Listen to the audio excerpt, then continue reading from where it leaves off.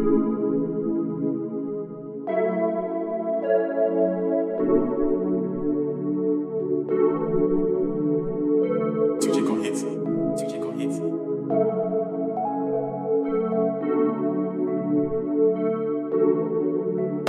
love is everlasting.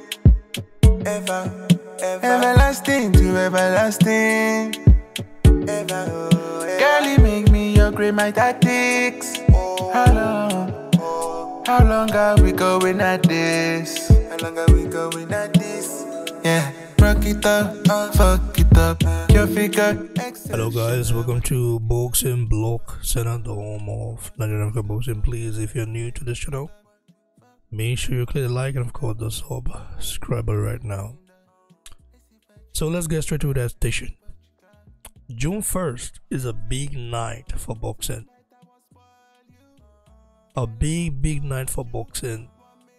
And where will it take place? Saudi Arabia in Riyadh. So, rumor reports that Dana Dubois will be going against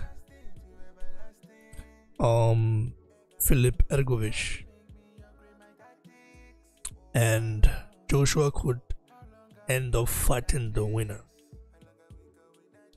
for the IBF strap after the undisputed bout between Tyson Fury and um, an Usyk is concluded. Uh, this match of is, is is interesting. Dubois called out Hrgovic. We all know that, and Hrgovic accepted. Hrgovic basically is high in the Joshua fight because I watched in an interview with True School Sports and his interview with True School Sports. The guy is like, he's a very interesting guy though, where he talks, and seems like a guy that is ready to take over the world. But the problem is, I still think Hrgovic needs to do more. You know. Um. Now, bro, this fight right here is like the water junk fight. It's a dangerous fight for the boy, and there's also a fight he can win. What the hell is going on in Saudi Arabia, bro? Is that where the future of boxing is?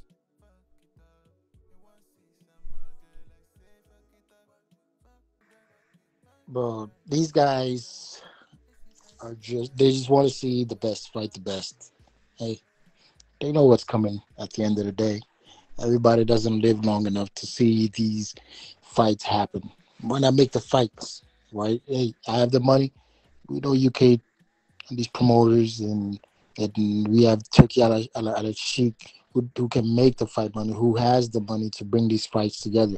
You know, unlike um, PBC, Top Rank, you know, all these other sports, you know, um, ESPN. Eventually, they all they all been falling off one one right after the other, one right after the other. Hey man, it's funny because I'm thinking about it now. Hey, Teofimo might be probably right.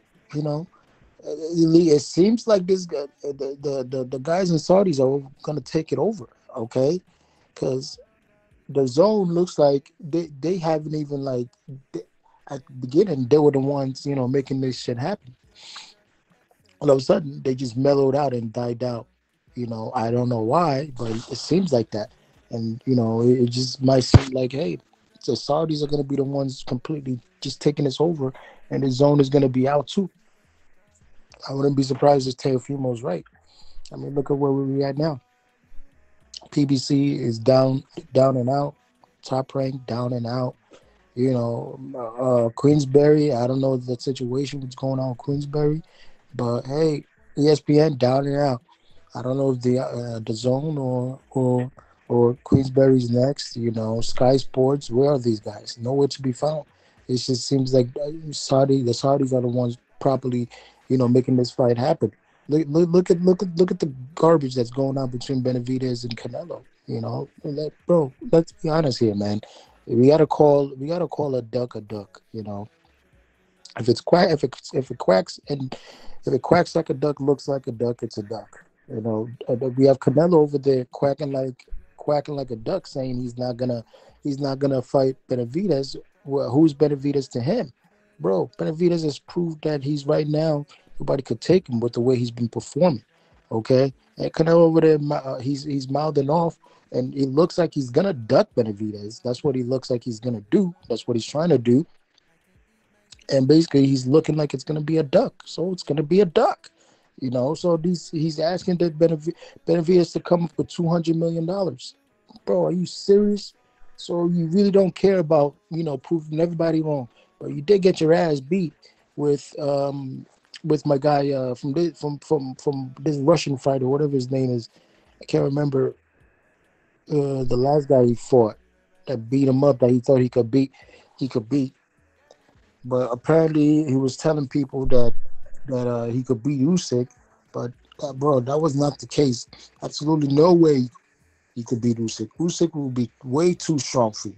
So now, if if you look at it, he he he uh, Canelo decided that hey, I'm gonna I'm gonna duck that I'm gonna duck that one fighter, you know that that I fought and lost to. Let's be honest here, man. Canelo did duck that fighter, okay, and all of a sudden like he knows Benavidez is a strong guy. There's there's there's rumors going around that you know that he uh he did he did uh, uh, uh uh, that the that Benavidez Dimitri Bivol. That's why I, I need to remember Dimitri Bivol. When Dimitri Bivol fought for the um apparently when they sparred Benavidez, Benavidez was putting the, the hands on, on on Dimitri Bivol. That shows you how strong uh, uh, Benavidez is. So Canelo looks, Canelo knows, oh man, I, there's no way I'm gonna fight Dimitri Bivol and beat him without actually draining Benavidez. He knew he couldn't drain Dimitri Bivol, you know, unless they come meet him at a prop uh, weight class where they'll be weight drained, wouldn't be able to fight. So that's why he decided I'm not gonna fight Dimitri Bivol. Let's just forget about that fight. And he knows the same. He knows he knows uh, Benavidez is is is is a lot tougher and a lot stronger and a lot quicker than than than uh, Demetrius Bivol. So that fight is gonna be dangerous for him. Why would he fight that fight? Of course, he's not gonna want to fight that fight. He's gonna want to fight Jaime Munguia. Jaime Munguia has not even proved to me that he's capable of holding his own. You know, against any top opposition. He hasn't even fought somebody wor- worth worth the watch, and all of a sudden he's jumping into the ring. Jaime Munguia has been having issues health wise for a minute. But all of a sudden he's back in there and he's trying to fight Canelo. Canelo knows who he's gonna fight, and it's Jaime Munguia. Simple as that. But but let's go back to the topic at hand. These guys are deciding to put the the put to, decided to put the sport of boxing, you know, into into the limelight again. Hey, why should why should why should the uh, why should MMA fans have continuously have fights they want to see? But when it comes to boxing, it's always a, a, a stick in the road. They put they put Queen, uh, uh, uh, um, Queensberry versus versus Matchroom together. They did that. You know, they made that fight happen. They gave us a nice, decent fight between fighters. But now they let's let's see Daniel let's see Daniel Dubois versus um versus uh um what's this guy's name? I'm sorry, I completely lost my train of thought. Daniel Dubois versus um what's his heavyweight's name? Versus what's that? Uh, uh, uh, Raymond, help me out here. I can't remember that guy's name. Yes, thank you. Now they're gonna put Hrgovic versus uh, Daniel Dubois together. Mind you, Hrgovic has been waiting to get paid by Anthony Joshua. That's why he's been holding out to fight Anthony Joshua. Hrgovic is really not Hrgovic, much. Hrgovic didn't like impress me in um, on the Zhang Zhilei fight. Though Zhang Zhilei won that fight, in my opinion. Uh, absolutely, you're absolutely right, bro. It was but, you know, was he was he was given that fight. It was a gift. no, everybody believes that too. But hey, it, I don't know why they did that, but Hrgovic took that fight, and we're trying to they're trying now they're trying to basically like uh put Daniel Dubois versus Hrgovic. Honestly, it's not much of a fan favorite fight between the two, but whoever they fight is gonna be is gonna be Anthony Joshua personally that I think. But hey, they could always mix it up. Throw Deontay Wilder in there, Andy Ruiz in there, make it a big, make it start getting those names hyped up enough, you know. While AJ sits, I don't want. Andy, I, honestly, Regino, Andy Regino is a diva, bro. He's not serious about his career. That guy doesn't take boxing serious all because by his money. So I, I think, would I, have to- think I think that's why Saudis usually Andy Regino should be in every every people's uh, conversation because he's a very good fighter, but he doesn't take it serious, bro. You know He- what? he I would takes, have to he- agree. He, he, takes eating seriously than uh, than boxing, bro. He loves to eat. No, you're right. Because yeah, you're absolutely right. Because I've actually wondered why this guy hasn't been fighting. He's been making up excuses, you know. And the Deontay Wilder fight was there. And apparently, he wanted. He thought he was a lot more money, bro. It's the AJ effect, man. The AJ effect gets these gets these guys. But it is what it is, man. These Saudis want to put good fights on. Let's see. It all. It's all about matchmaking. who, who wins between Negoviation and Dubois? Who are you rooting for? Uh, let me see. I, I believe um, Dan Dubois has enough skills to take this fight home. I believe he has enough skills. Hmm.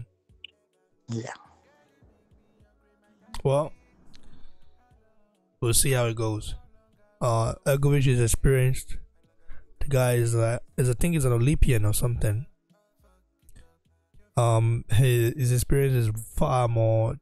um is it, it outweighs uh Dubois' experience. So, if Du- the Dubois that showed up against Jarrell Miller not giving up is there, then he, he has a chance to win. But if it's Dubois that always quit, you know, whenever they go and get stuff, well, it's going to be another loss for him. Hopefully not. See what happens, guys. A lot of you to subscribe, and I really do appreciate you guys for supporting the channel. We'll be right back very soon. Stay tuned for Wednesday Maria, guys. Cheers.